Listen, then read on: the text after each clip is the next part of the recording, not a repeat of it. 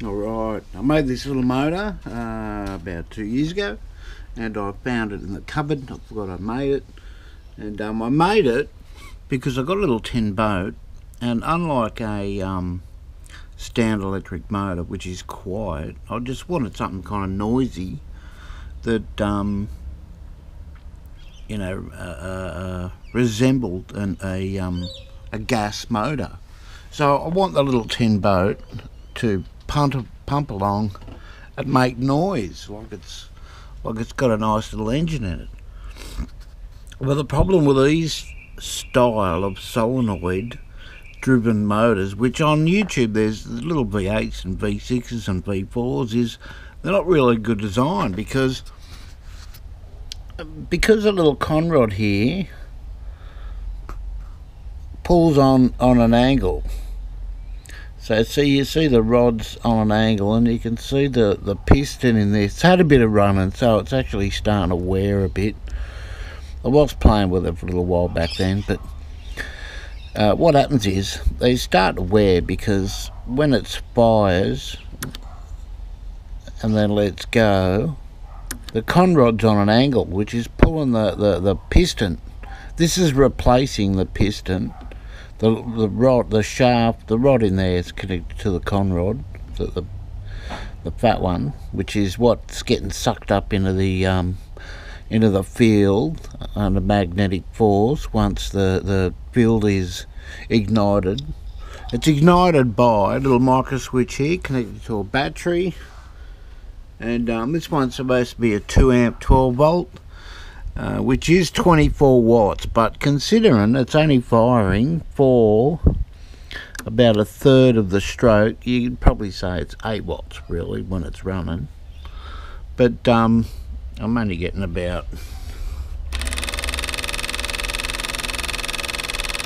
uh, 4 watts or so.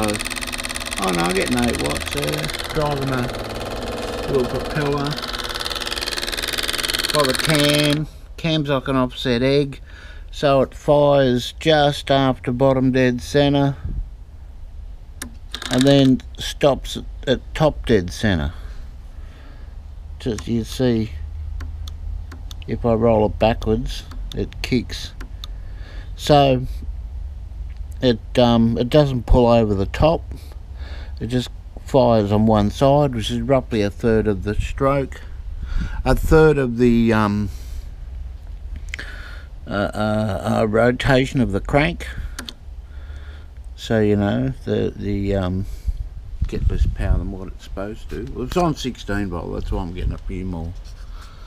It's getting 8 watts or so but supposed to be efficient and that but there's heaps of these on eBay. I wouldn't buy one a little V8 and that because because this ends up wobbly. You know it all ends up wobbly and then you've got to keep it all lubed all this shaft and that. So it's not something you can actually run for a long time without having to re-lube it all. But uh, I'll make another one. I've ordered a different type of a lifting magnet. So that'll just pull a plate straight at it, which um, I can change it so there's not a shaft rubbing up through the middle like this one which is having it crank. If, if you made a it straight down with a rocker on the bottom and then the rocker had a rod coming up and turning a piston, then that would be better. At least it's kind of pulling straight up and down.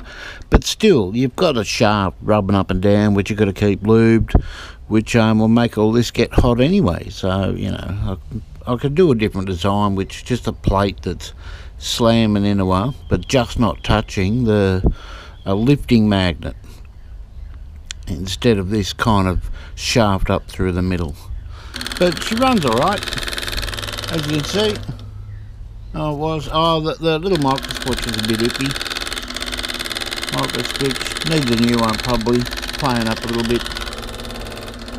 Yeah, it just doesn't have enough power. I need at least 24 or probably more watts to put it in the boat. And um, then I'll have a what sounds like a little IC engine. Yeah, switch is playing up. Anyway.